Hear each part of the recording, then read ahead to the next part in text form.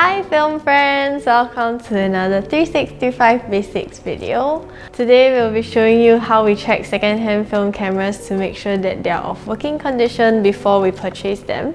Since you'll likely be buying second-hand when it comes to film cameras, we hope this will be useful for you. The first thing that you look at is the exterior of the camera. So usually you will look at whether the camera's exterior looks fine or not, whether there are paint chips or scratches or dents. So paint chips and scratches are actually rather common because the cameras are probably like older than you. But one thing that you have to watch out for is large dents, um, chips or cracks because that might mean that the camera has been dropped. The next thing you want to look out for is the light seals in the camera. So how you want to check that is you open up the camera and different cameras have different ways of opening it up, so it's up to the camera.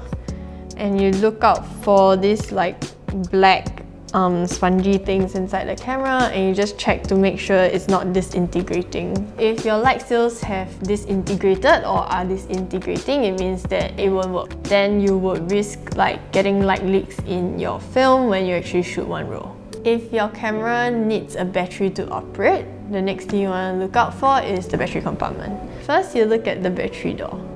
So you want to make sure that it's working fine, it's not broken, you can open and close it well. And then next you want to look inside the compartment to make sure that it's not corroded and that all the contact points are not rusty.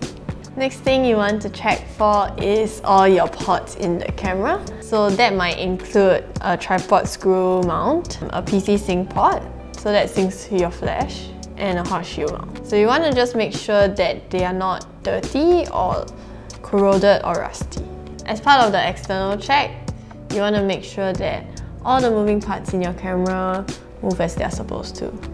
So that might include your shutter speed dial, your ISO dial, um, your film advance, and maybe also your rewinding mechanism.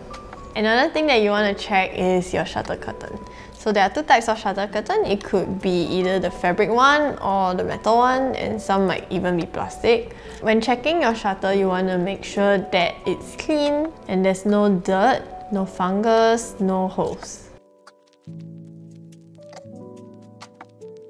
So now we move on to the actual functionality of the camera and the first thing you want to check is the shutter of the camera. You want to check whether the shutter fires at all speeds and also whether you can cock the shutter. And um, when checking the shutter speeds, we usually check all speeds. But if you are short on time, you might just want to check the bulb one, the one second one, and the faster speed of the camera because those are the most recognizable that you can tell whether or not they are at the correct speed. Next thing you want to look out for is whether or not your film counter moves accordingly. So you just fire your shutter as usual and just check whether your film counter advances forward as what it's supposed to. And you should just check all the way. Yeah, you will check all the way. I will check all the way. I mean, yeah, it doesn't really matter. But then the thing is, if it doesn't advance properly, you can ask for cheaper price. After you've checked whether or not your film counter advances properly, you also want to make sure that it resets when you open the back of your film camera. When you're checking your shutter and the advance lever, you also want to open the back of your camera to see whether everything is working accordingly. So when you fire the shutter, you want to make sure that the shutter curtain opens and when you advance the lever, you want to make sure that everything inside moves. I hit my elbow on the table. You also want to check whether or not your viewfinder is clean because that will affect your shooting when you want to focus on your subject. So just look through the viewfinder and make sure that it's not hazy or if it is, whether or not it affects your focusing. Usually some dust is expected, but if it's too much dust that it affects your viewing, then that would be an issue. Ask for cheaper price. Okay, next. Ask for cheaper price. Talk about range. For rangefinder cameras, you also need to check the rangefinder patch. So when you focus the camera, the patch should move accordingly in the viewfinder. And also, you just want to make sure that it's clear enough, that the contrast is enough for you to see whether it's in focus or not. If your camera has a self timer, make sure that when your self timer ends, the shutter fires.